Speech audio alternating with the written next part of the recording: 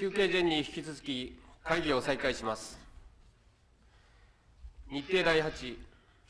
西岸第6号長湯町老人クラブの拠点となる交流施設の新設に関する請願書を議題とします。ただいま議題としています請願について委員長の報告を求めます。文教厚生常任委員長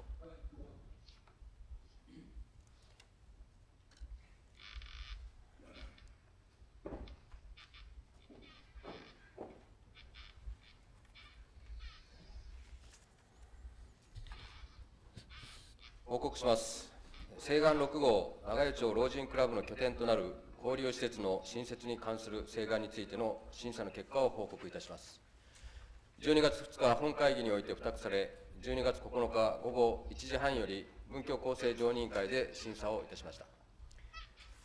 請願の紹介議員は付託される常任委員会以外の議員が望ましいが、本請願は長湯町議会申し合わせ事項による他の委員会に紹介議員がいない例外を適用し、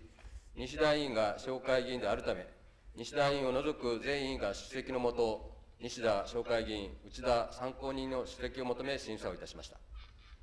請願趣旨の説明では、長湯町の町の取り組みに老人クラブの活動が不可欠であること、高齢者の健康維持活動、独居老人対策など、老人クラブの活動が重要なこと、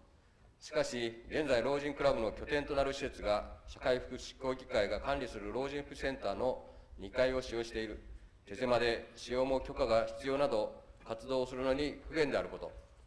いつでも気軽に訪ねることができる相談所の役割を持つ施設があれば、さらに老人クラブの活動の範囲が広がることなどが説明をされました。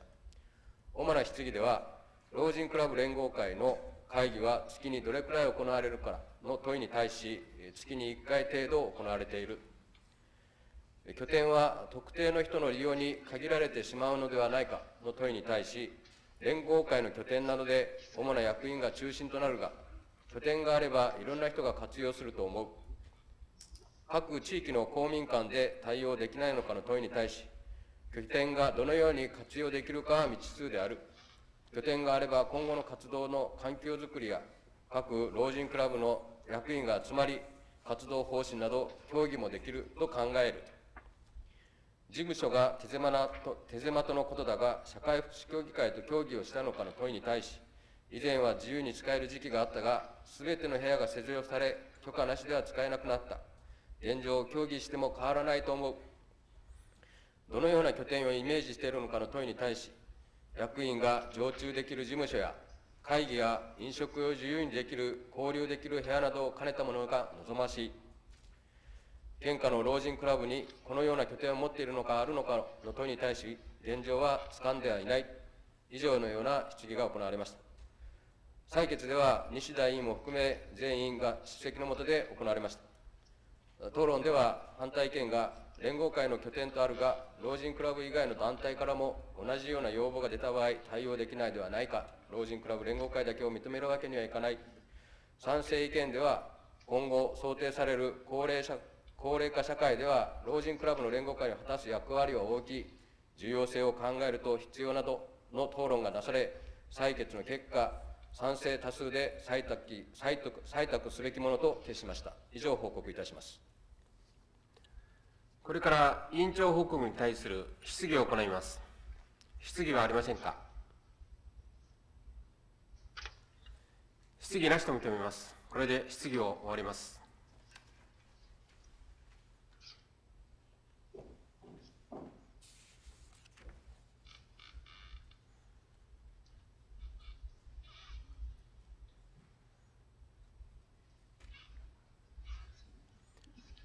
これから討論を行います。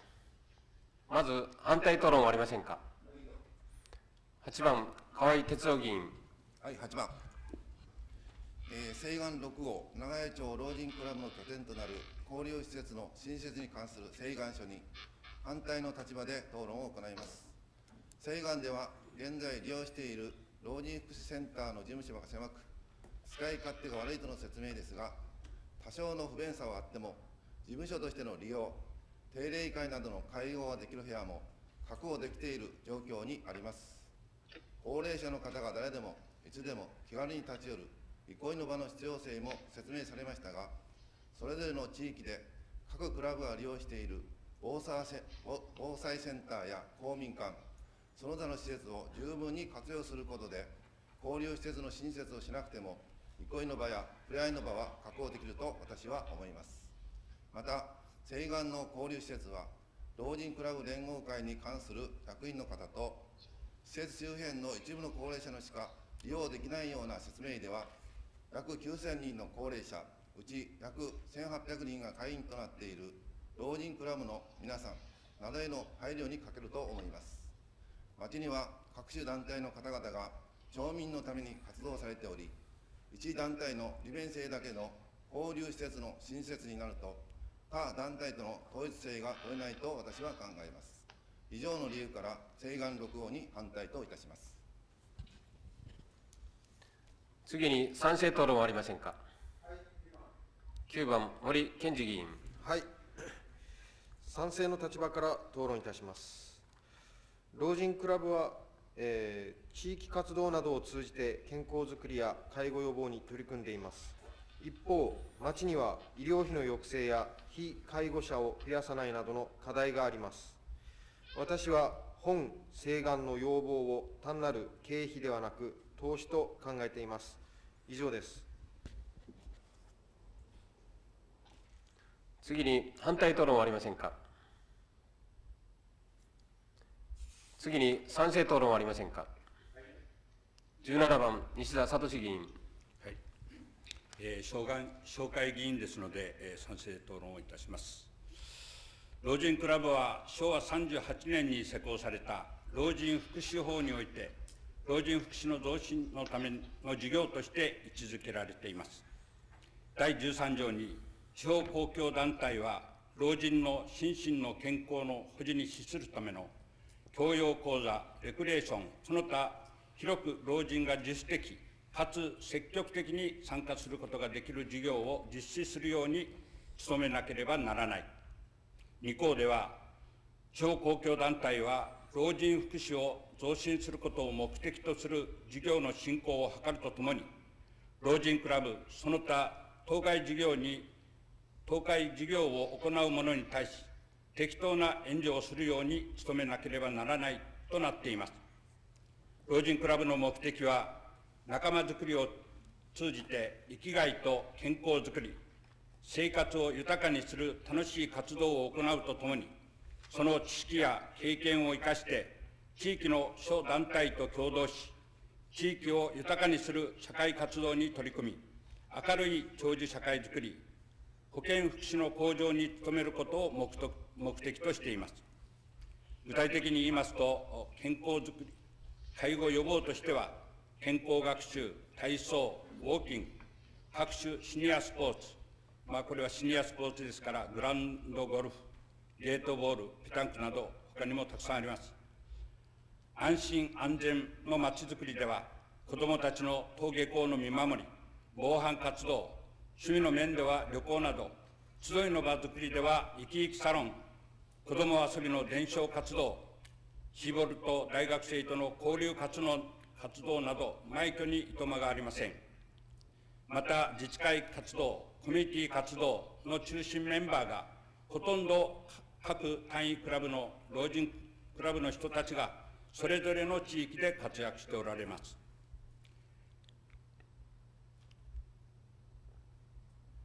このことからあ失礼このことからも町長をはじめ行政に携わる皆さんは老人クラブを含む高齢者の方たちの頑張りなくしては安全で明るく楽しい地域の活性化は成り立たないことは十分ご承知のことと思います。11月30日現在長与町の高齢者は9374人。昨年4月30日、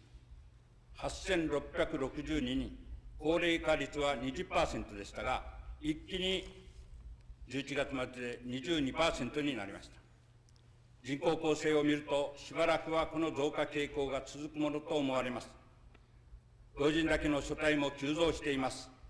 社会では振り込め詐欺に始まる各種犯罪が一向に減少しません。独居老人、孤独死の問題をどう取り組んでいくかも課題などの課題も大変多いのです。今回の請願はいつでも誰でも気軽に立ち寄れる施設で、交流から生まれる仲間づくり、各種悩みの相談場所としても有効な施設となることは確信できます。超高齢化時代に向けて増大する課題と責任感での要望でもあります。せっかくの老人クラブ連合会のやる気をそいではなりません。以上、意見をして賛成討論といたします。次に反対討論はありませんか？12番、菊津秀夫議員。はいえー私は請願6号、えー長町老人クラブ連合会の交流施設の新設に関する請願に反対の立場で討論いたします。まず、えー申し上げておきたいのは、請願の要旨に本格的な高齢化社会を迎え、老人クラブ並びに連合会の責務と課題はますます、えー増大するというふうに記載されております。えー責務と課題については触れられていませんけれども、老人クラブ連合会として、えーこれらのことに真剣に取り組んでいこうという姿勢には大いに賛同し、敬意を表するものであります。えー請願の要旨は、連合会は老人福祉センターの2階の部屋を借りて事務処理を行っている。部屋の使用は社会社会福祉協議会への許可を申請しなければならず、自由に、対応できる部屋もないというふうに書いてあります。えーこの、まあ、文脈から見ると、老人クラブ連合会が、えー誰はばかることなく自由に使える、使用できる、えー連合会の拠点となる施設を作ってほしいということであると理解しております。えー本庁には、長井町公民館、えー、高田及び上長屋の地区公民館をはじめ、えー町内各地に、えー多くの施設があります。えー各種会合やイベント等に利用されております。えーこのように長井町の集会研修施設は充実をしていると考えております。えー各種施設は町民の共有財産でもあることから、えー利用にあたっては重複することもあります。調整が必要になることもあると思います。施設を利用する場合は、施設の借り入れの申請をすることは当然であり、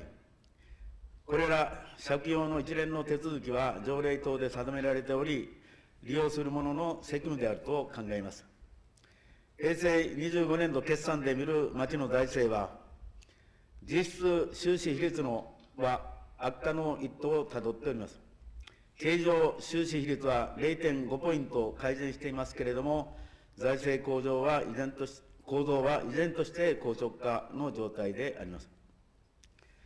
えー将来負担比率は若干改善したものの、平成21年度と比較すると、えー7.6ポイント悪化をしております。詳細の残高は149億8900万あります。えー図書館建設や老朽化施設の対応などにより、債務負担行為予定額も増加することは必至であり、今後、将来負担比率はの悪化は避けられないと考えております。24年度の決算のデータでは、県下21の市、町の中で、実質交際比率は5万から7万に下がりました。将来負担比率も7万から8万へと下がります。えー県下の平均よりも良いものの順位を落としております。えー町も議会もともに町政の発展と町民福祉の向上に責任を負っています。えーこの前提となるのが財政の健全化であると考えます。あれもこれもから、あれかこれかの時代になっております。えーこの種の請願を認めれば、えー他の各種団体から次々に請願が出され、ことは予想されます。えーこういったことを踏まえて、えーこの請願に対する反対討論といたします。次に賛成討論はありませんか？3番、内村博則議員。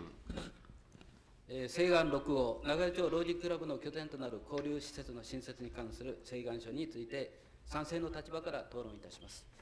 請願書によりますと長屋町老人クラブは現在老人福センターの2階にあり非常に狭い環境で事務処理を行っていることいる行っているとのことであります今後の超高齢化の進展を考えると会員や高齢者の方々の交流の場や親睦の場が確保できるような場所を拠点にしたいとの理由から、今回請願書を提出したの提出したとのことであります。えー私も現地の事務所を見ましたが、4畳半、すなわち約4坪約2坪の部屋に、6階や5人分の椅子が置いてある劣悪な環境でありました。人の踏み間はありませんでした。えーすでにご存知の通り、老人クラブは公益財団法人として、健康づくり、介護予防、一人暮らし老人への対応、地域ボランティア活動、仲間づくりの活動など、重要な活動を展開されております。そして、地域のボランティア団体として、行政の一翼を担っております。日頃、地域のために一生懸命にボランティア活動を行っておられる役員や会員の方々には頭が下がる思いでございます。私はこれから2025年問題がまもなく搭載到来します。えーこれは非常に危機感を私も持っています、2025年問題は。で請願にある通り、会員や高齢者の方の交流の場な場など設備面、設備面の充実を図って、老人クラブの活動を支援することは大賛成であります。えー交流施設等の内容としては、事務所のほかに会議室、懇談やえ懇親が図れる和室、倉庫を希望されております。私はその実現方法として、町が保有されている未利用地の活用や未利用家屋の活用など、あらゆる方策について、日頃、地域のために頑張っておられる老人クラブ連合会のために、真剣に誠実に検討していただきたいのであります。私はこれまで一般質問において、2025年問題や大介護時代に対応するため、老人福祉センターの早期建て替えを要望してきました。その理由は、高齢者が住み慣れた地域で暮らし続けるには、介護、医療、介護予防、生活支援、住まいの5つのサービスが一体的に提供される地域ケ、え地域包括ケアシステムの構築が構築が現在提唱されているからであります。そして国は、このシステムを2025年度までに全国で構築する方針です。この地域包括ケアシステムの構築を図るためには、地域ボランティア団体や介護ボランティア、認知サポーターなどの協力なくしてはできないのであります。そしてこれらの人材の研修や交流の場が必要、不可欠であるからです。えーこの、えー今回の制限は、請願は、この意味において、えー相通じるものがあります。ぜひ、この切実な請願の実現を強く要望して、本請願の賛成討論といたします。以上です。次に反対討論はありませんか？次に賛成討論はありませんか？反対、賛成、いずれでも結構です。討論ありませんか？討論なしと認めます。これで討論を終わります。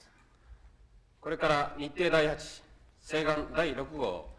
長井町老人クラブの拠点となる交流施設の新設に関する請願書を採決します。この採決は規律によって行います。本請願に対する委員長の報告は採択です。本請願を採択することに賛成の方は起立願います。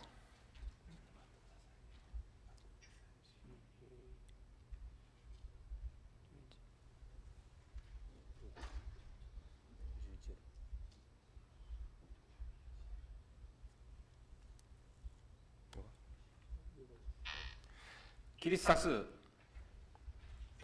よって本請願は採択とすることに決定しました。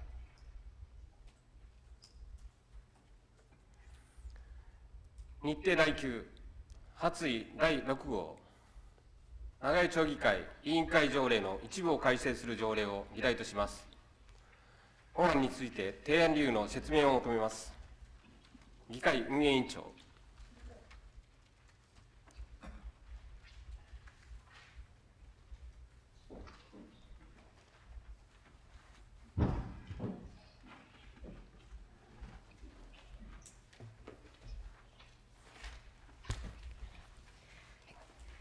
それでは提案理由の説明をさせていただきます。発議第6号、長与町議会委員会条例の一部を改正する条例につきまして、提案の理由の説明をいたします。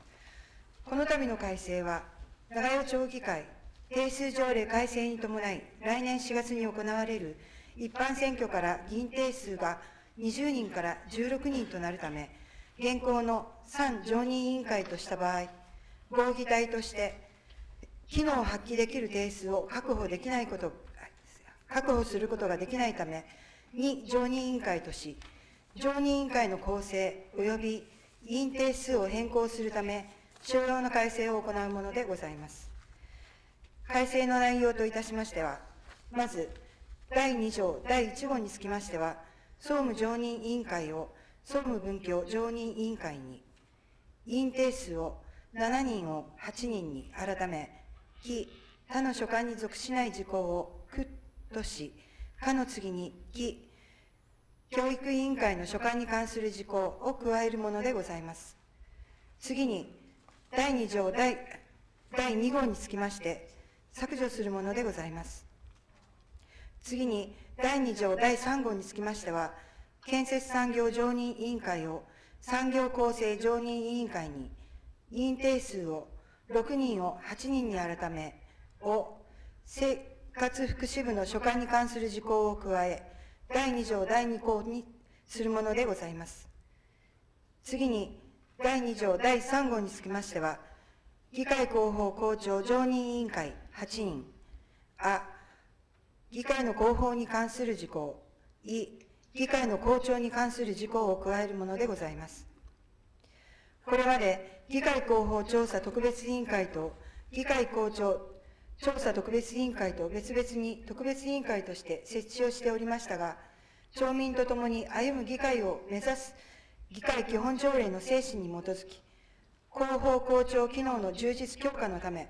常任委員会とするものでございます。次に、第6条第2項につきましては、資格審査特別委員会及び懲罰特別委員会の委員定数の9人を8人に改めるものでございます。施行は、施行は、えー平成27年4月30日からといたしております。以上が本議案の主な内容でございます。よろしくご審議のほどお願い申し上げます。これから質疑を行います。質疑はありませんか？質疑なしと認めます。これで質疑を終わります。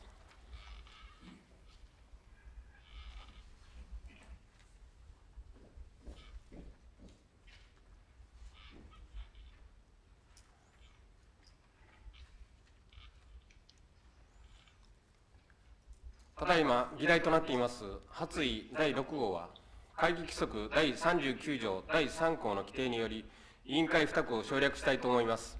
ご異議ありませんか？異議なしと認めます。よって発議第8号は、委員会付託を省略することに決定しました。これから発議第6号の討論を行います。まず反対討論はありませんか次に賛成討論はありませんか反対、賛成、いずれでも結構です。討論はありませんか討論なしと認めます。これで討論を終わります。これから日程第9、発議第6号、長与町議会委員会条例の一部を改正する条例を採決します。本案は議案の通り決定することにご異議ありませんか？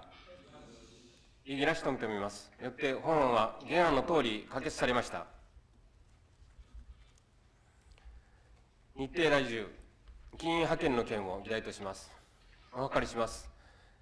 会議規則第129条の規定により、お手元に配布の通り、議員を派遣したいと思います。ご異議ありませんか？異議なしと認めます。よってお手元に配布の通り、議員を派遣することに決定しました。日程第11、委員会の閉会中の継続調査申し出を議題とします。議会運営委員長から、目下委員会において調査中の事件について、会議規則第75条の規定によって、お手元にお送りしました申し出書のとおり、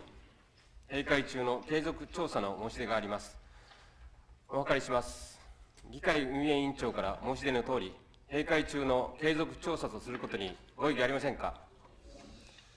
異議なしと認めます。よって、議会運営委員長から申し出のとおり、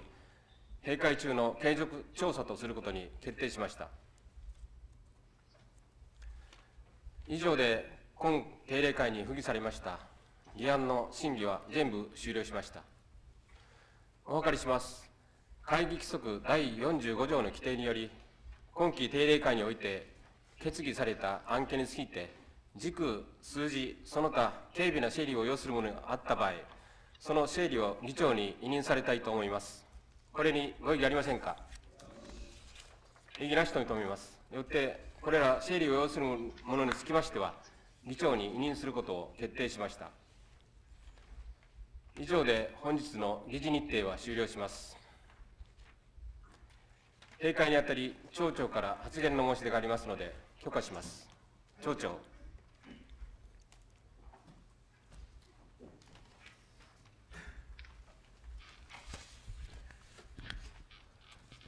えー、皆さん、あの12月定例会、本当にご苦労様でした。ありがとうございました。えー、まあ、えー、12月は足は走る走るというよく言ったもので、本当に慌ただしい毎日になってまいりました。えー、昨日は衆議院議員選挙で議員各位、えー、大変お疲れのことだと存じます。えー、本庁では午前0時50分の開票投票でございますけれども、えー、0時50分の開票投票でございました。今回の投票率は、えー、前日、期日前投票の16.44%を含め、50.94%で、前回よりも長与の場合は6.8ポイント下回っております。それでは第4回長与町議会定例会の会閉会にあたりまして、一言ご挨拶をさせていただきます。去る2日に開会をしていただきました本定例会でございますけれども、先ほど議案等につきまして、それぞれご決定をいただきましたことを、まずもって御礼を申し上げたいというふうに思っております。え今回の定例会におきましては、多くの議員の皆様から、新図書館につきましてのご質問をいただきました。え、建設計画にあたりまして、説明不足の点が多々あったかと感じております。え、議員各位の思いを真摯に受け止めまして、え、対処していきたいというふうに考えておりますので、ご理解を賜りたいと存じます。さて、えー、今年1年を振り返りますと、ご審議いただきました議案87件、また延べ57人の議員の皆さんから127件という多くのご質問をいただいてまいりました。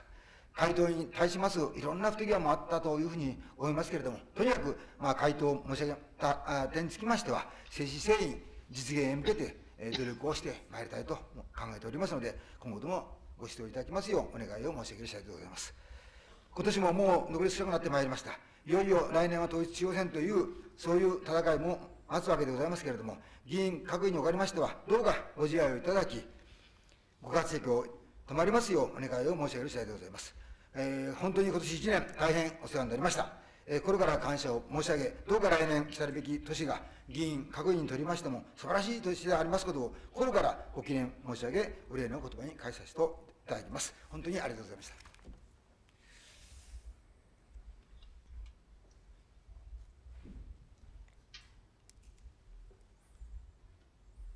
次に閉会にあたり、私から一言申し上げます。今定例会では、一般会計補正予算はじめ、条例改正案件など10本の議案と、議員提出議案である条例改正1本、それと住民で組織された団体から提出された請願2本が審議され、各々の判断が下され、議決結果が出されたところであります。今議会では、一般質問においても、新図書館建設に関する議論が集中し、また、先般開催した議会報告会においても、参加者の方から新図書館についてのご意見をいただいたところでございます。また、これに続いて、長井町新図書館に係る請願書が提出提出されました。新図書館に対する町民の皆様の関心の高さを感じますとともに、施行後には十分な説明の機会を果たし、多くの住民が集う充実した拠点としての館を建設することが求められていると思われます。執行側のなお一層の努力を期待いたします。さて、今年1年、さまざまな出来事が起こりました。特に自然の猛威と壮大さを感じさせる災害が多かったような気がいたします。多くの犠牲者が発生した広島市の集中豪雨による土砂災害、御嶽山の突発的な噴火災害、かろうじて人命被害を免れた長野県北部の直下型地震災害など、数々ございました。各々が日頃から備えを怠らないことが大切です。行政におかれても、ますます住民の安全と安心の充実に努力されることを切望するものでございます。去る10月から12月にかけ、11月にかけて、長崎ガンバラマ国体、ガンバラマ大会が開催されました。少年女子ソフトボール競技においては、参加チームの応援に各地域が熱心な応援を繰り広げていただいたことや、町民一丸となったおもてなしが感動を呼び、各方面から大きな反響がありました。フットベースボール競技においても、小中学校別の見事な応援によって、長崎県チームが第3位に入る活躍があり、高丸の日殿下にをお迎えしての決勝戦など見事な見応えのあるプレーで、町民の皆様にも大きな感動がありました。成功大成功のうちに終了したことは、町民皆様のご理解とご協力のおかげであり、感謝に絶えない次第であります。誠にありがとうございました。また、所管をされました国体事務局のご苦労に対し、お礼御礼を申し上げます。本年の議会議員に対しましても、皆様方のご協力に感謝を申し上げるとともに、来る年も皆様方にとって輝かしい新年が訪れますように、ご祈念申し上げまして、私の一年納めの言葉といたします。ありがとうございました。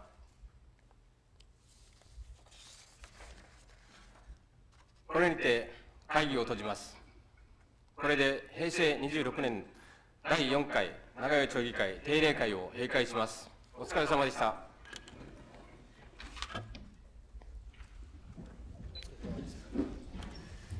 なお、直ちに全員協議会を会議室で行います。議員の皆様方はお集めください。